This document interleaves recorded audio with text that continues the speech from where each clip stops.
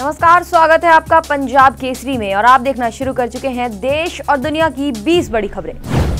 चीन में हर पल कहर ढा रहा कोरोना वायरस। दो दिन में 143 की मौत अब तक 1,631 लोग गवा चुके हैं जान। सीबीआई की याचिका पर सुनवाई के लिए तैयार होने के बाद चीफ जस्टिस शरद अरविंद बोबड़े की अगुवाई वाली तीन न्यायमूर्तियों की पीठ ने लालू प्रसाद यादव को नोटिस जारी किया। अब चेन्नई में बना शाहीन सीए के खिलाफ सड़कों पर उतरी महिलाएँ। रिफ्यूजी कैंप में ईसाइयों को घरों में घुसकर पीटा। चर्च स्कूल किए तबाह। कोका कोला करेगी ग्यारह हज़ार करोड़ का निवेश, बिहार के लीची किसानों को फ़ायदा। सुप्रीम कोर्ट ने निर्भया के दोषी विनय की याचिका खारिज की, कहा मानसिक हालत ठीक। 16 फरवरी को वाराणसी में पीएम मोदी महाकाल एक्सप्रेस को दिखाएँगे हरी झंडी।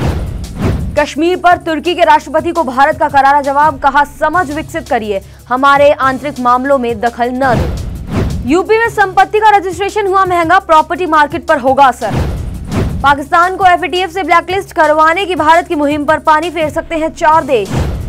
दिल्ली में आपकी जीत का पंजाब में असर, जनता की ओर नए अंदाज में चली अमरिंदर सरकार।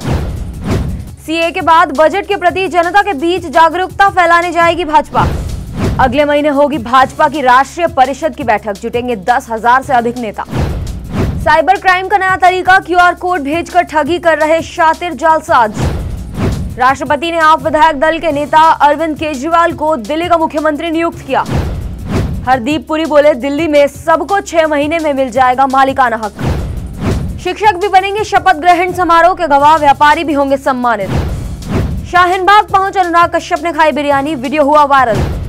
बालाकोट में फिर बड़ी गतिविधियाँ, जैश ए मोहम्मद ने किया आतंकी शिविर का विस्तार।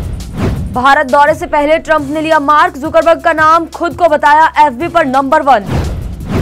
ऐसी ही तमाम बड़ी खबरों से जुड़े रहने के लिए बने रहिए पंजाब केसरी के साथ।